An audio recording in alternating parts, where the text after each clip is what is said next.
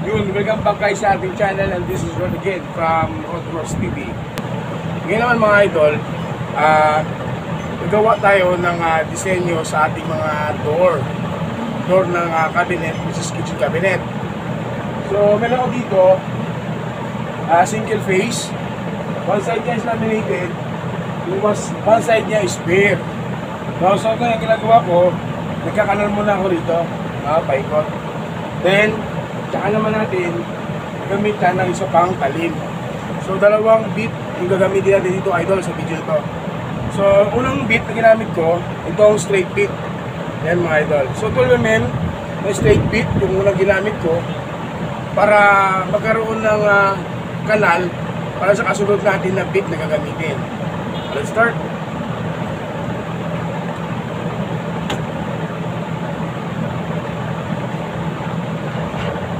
Medyo marami itong door na to mga idol. No? Kung pakita ko, ah, isang sample dito kung paano ko ginagawa.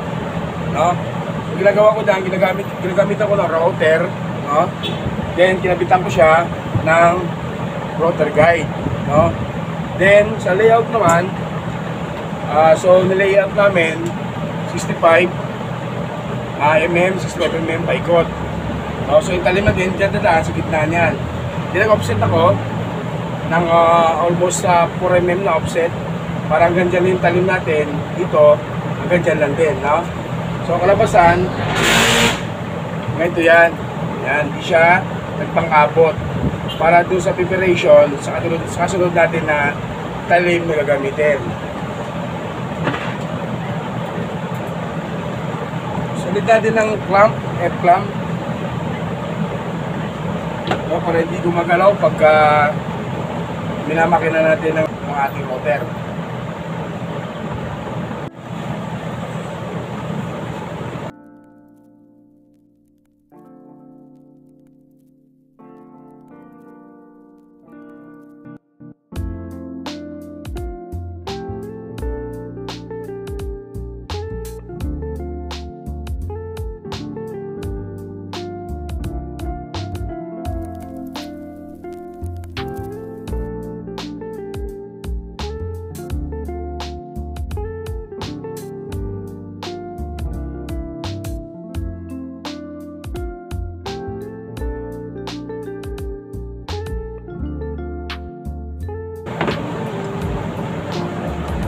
So yung lalim pala ng ating group, no, almost sa 10 mm na yung bound yan, no, ng straight bit.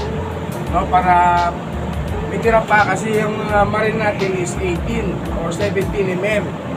So need lang natin magbaon almost or approximately mga 10 mm mga idol na 12 mm na straight bit.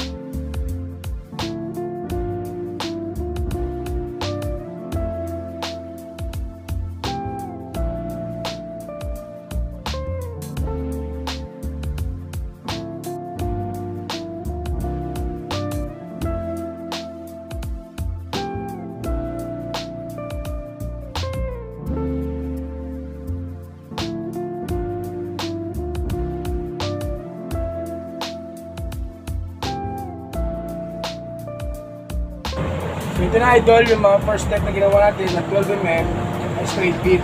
No? So hindi tayo umabot sa dulo. Hindi umabot sa dulo. No? Para merong ano, uh, yan ang preparation natin sa ating kasunod na talim.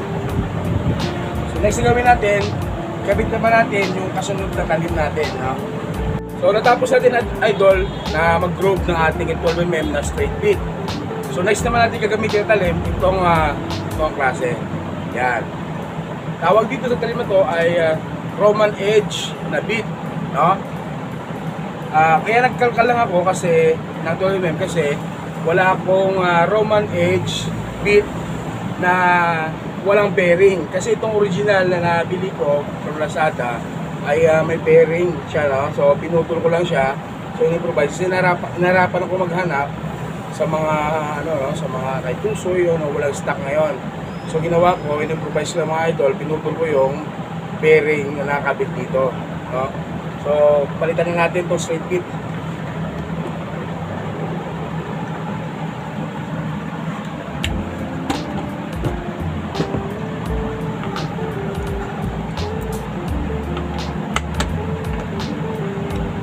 Sa router natin may pindutan yan, no? Para makalas natin. Then, kailangan natin katala. Yan, pababa. Yan, paluwag.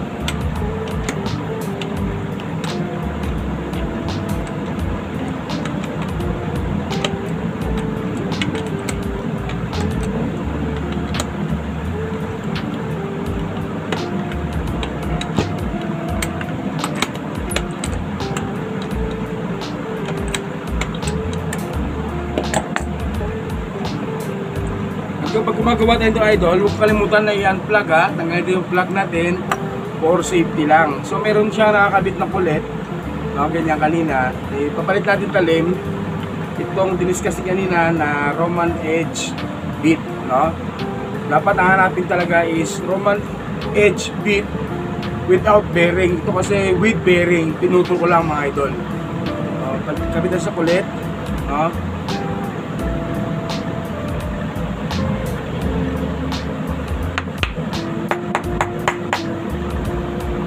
Make sure lang na nakapasok talaga sa kulit natin oh. Yan, tapos ilagay naman sa ating router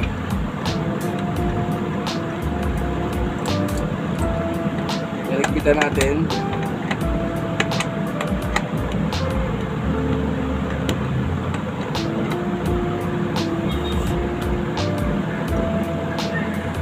Yan, kailangan natin medyo firm lang ano no So talagang kailangan may ikpit talaga mga idol kaya hindi nagabago. So yan. So kung nakabaon tayo ng 10mm kanina sa straight beat dito naman sa ating talim na Roman Edge kailangan 10mm din para magpantay sila doon sa bottom pinakailalim. So gawin natin para makuha yung 10mm no? Ilalapag natin yung talim sa ating uh, pinaka ginagawang ano, door, no? Pinakalapag na sa ilalim, doon sa ginagawa nating door.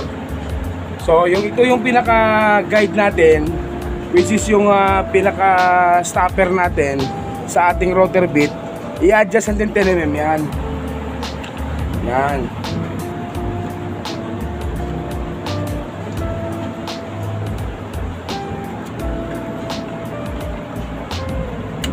Meron ako dito mga packet na ginagamit ko. 10mm yung kapal nito mga idol. So nilalagay ko yan doon sa stopper, papunta doon sa adjustment. Iangat natin. Then doon sa stopper natin, nilalagay din 10mm. Ibaba natin yung adjustment. Yan. Ah, so nakuha na natin yung 10mm yan. So yan na yan, no? 10mm na yung pinaka-distance yan. So wala tayong babaguhin sa ating rotor guide. Kahit nagpalit talim, hindi niya babaguhin yon. Yung pa rin yung kung ano yung ginamit kong kanina na sukat, yung pa rin yung ano natin, uh, rotor guide natin. Hindi kayo binago yan mga idol. Pa yung talim, nakasentro pa rin sa kanal natin dyan. So simulan natin itong groovin mga idol. So next, bago itong groovin yan, eh, klaman muna natin. Para hindi gumagalaw-galaw no? Make sure na naka-clamp tayo. At least ah, dalawa.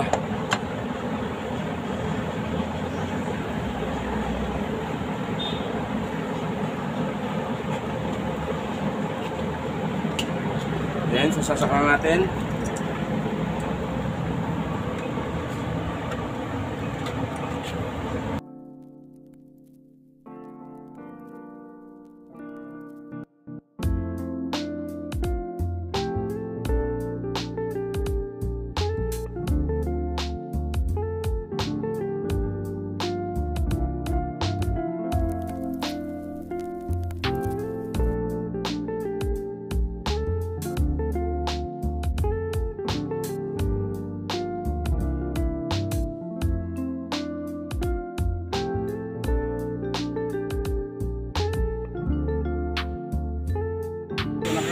Edge na tayo. Ah, make sure lang na huwag kang lalabas ng todo mo na. Kasi yung kasunod mong talim, dito na rin yan. Yan ang finish yung corner mo. So, try natin. Tingnan natin. Nakatapos na lang one side. Dito sa mahaba naman tayo. Na bahagi. Yan.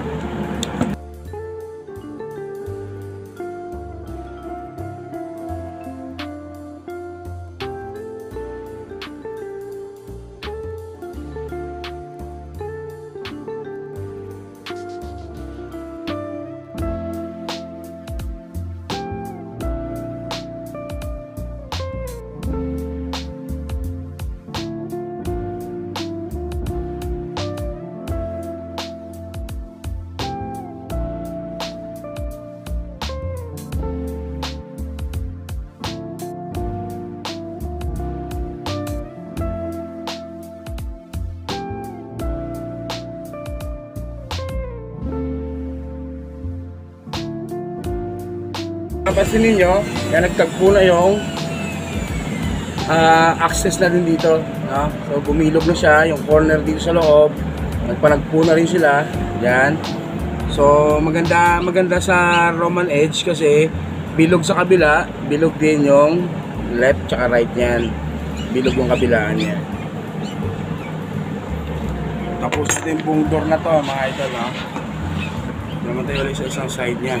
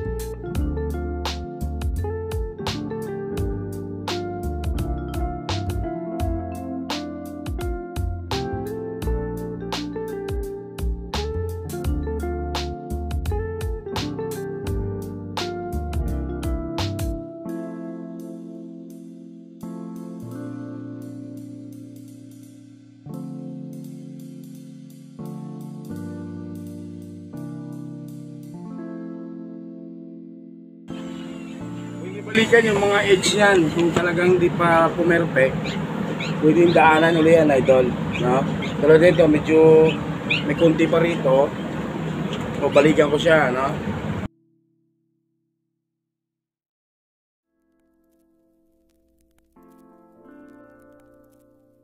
Sure na bilog yung kanto natin. No? Tapos dito, sa side na to, mukhang kailangan ko ibalikan. Siguro. Dito.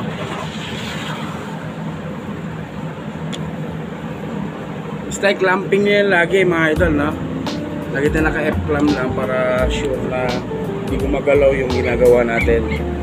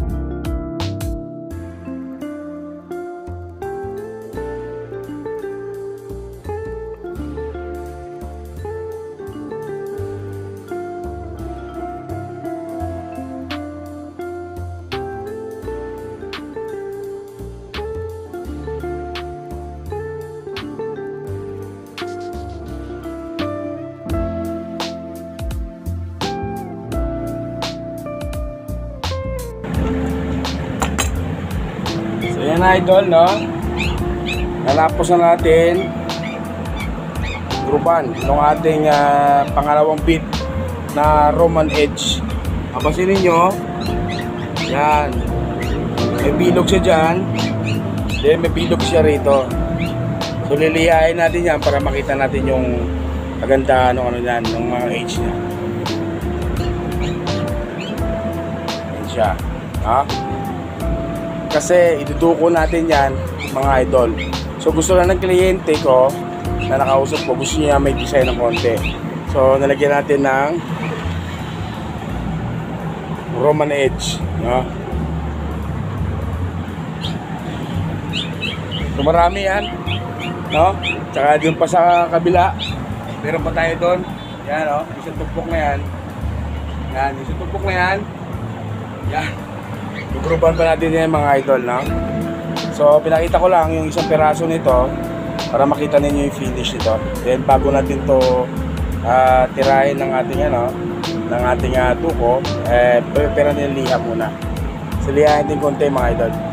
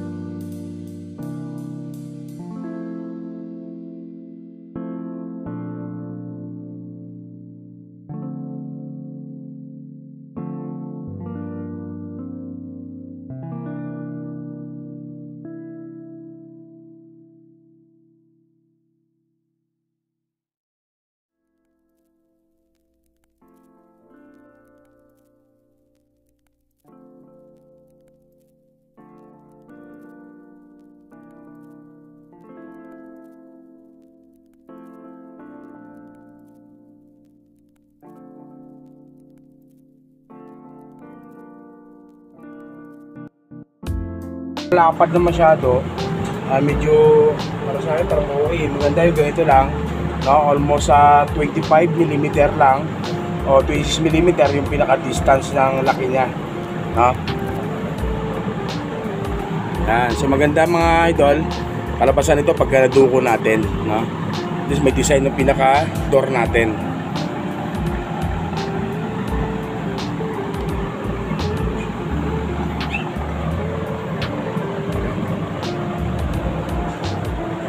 Sige ngayon sa video natin mga idol at huwag nyo kalimutan na mag-subscribe at pinutin yung bell notification then pinutin nyo yung all no, para updated kayo lagi sa mga video na ina-upload ko. Sana nakuha lang yung konting tips mga idol at huwag kalimutan mag-subscribe. Thank. So kung like mo mga mga video mga guys at ito mga content, mag-subscribe ka then pinutin nyo yung bell notification para updated kayo sa mga video na upload natin. So samahan nyo mga guys. Tuloy tayo.